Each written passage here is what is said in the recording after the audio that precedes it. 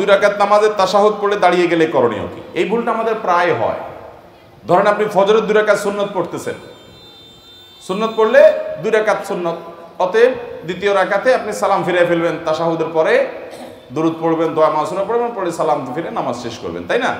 এখন দেখা যায়, নামাজে আমাদের মনোযোগ না থাকার কারণে বা অন্য যে কোনো কারণে হোক, দ্বিতীয় রাকাতে আমার সালাম ফেরানোর জায়গা আমি এটাকে চার চার রাকাত বিশিষ্ট নামাজ মনে করে উঠে দাঁড়ায় গেলাম।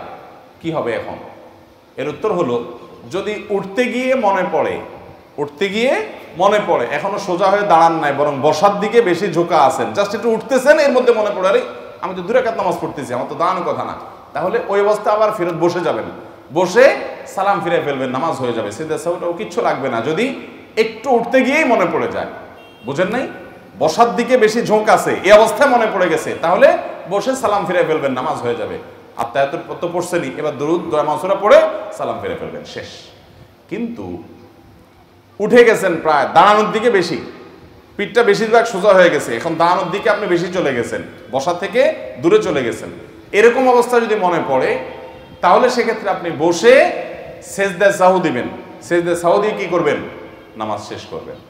আর যদি একেবারে ফুল দাঁড়ায় গেছেন, অনেক সময় দেখা যায় আরেক রাকাতও পড়ে ফেলছেন, এরপরে মনে হয়েছে তাহলে সেক্ষেত্রে তার সাথে আরও এক রাকাত করে মোট চার রাকাত করবেন। করে শেষে সেজদা সাহু দিয়ে দিবেন তাহলে কি হয়ে যাবে? নামাজ হয়ে যাবে। তাহলে তিনটা সিস্টেম হলো। এক হলো বসা থেকে একটু উঠতে গিয়ে মনে পড়ছে। তাহলে বসে ওই যে দোয়া মাসুরা, দুরুদ পড়ে সালাম ফিরে ফেলবেন। আরেকটা হলো উঠার দিকে বেশিরভাগ চলে গেছেন। হ্যাঁ? উঠার দিকে বেশিরভাগ উঠে গেছেন। তাহলে দুই রাকাত ফরজ নামাজ যদি হয়, যেমন ফজরের ফরজ নামাজ দুই রাকাত, এখানে দুই রাকাত পড়াটা ফরজ।